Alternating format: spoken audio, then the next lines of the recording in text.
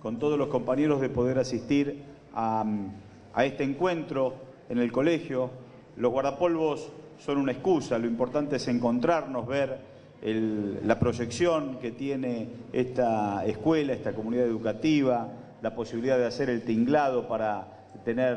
seguramente poder disfrutar al máximo las horas del esparcimiento, de la recreación, de la educación física y sobre todo saber que estamos trabajando codo a codo todas las instancias de gobierno con todas las instancias de la comunidad. Estos guardapolvos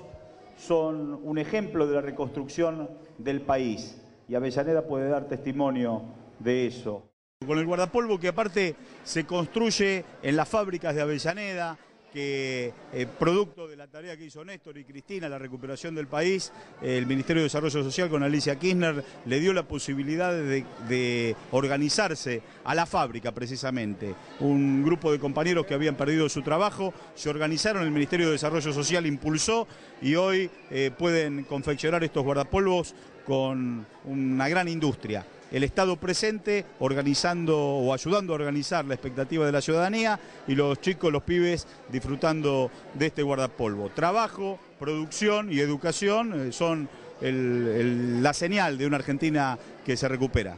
Estamos preparándonos, tanto aquí con entrega de guardapolvos, ahora vamos a ir a otra escuela, estamos ya preparando los 4 millones de libros que vamos a distribuir en todas las escuelas, desde sala de 5 hasta sexto grado, trabajando en infraestructura, acabamos de sacar a licitación 154 millones de pesos en diferentes tipos de obras para empezar las clases en tiempo y forma, muy acompañados aquí por el municipio que permanentemente también este, hace eh, trabajos en las escuelas, acompaña a los supervisores y a los docentes y bueno, preparándonos así para tener un muy buen comienzo de ciclo. El vicegobernador una vez más viniendo a Avellaneda a hacer cosas concretas, a seguir profundizando el modelo nacional, tal cual nos manda el liderazgo de la Presidenta, bueno, consolidando este proceso de inclusión, un proceso de seguir dándole a los chicos igualdad de oportunidades, bueno, trabajando articuladamente con el Ministerio de Educación